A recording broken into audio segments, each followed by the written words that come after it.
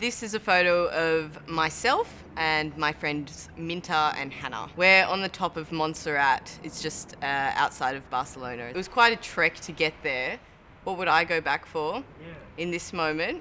Uh, well, we had this really nice moment where we just sat on the edge of the mountain and we looked across the view.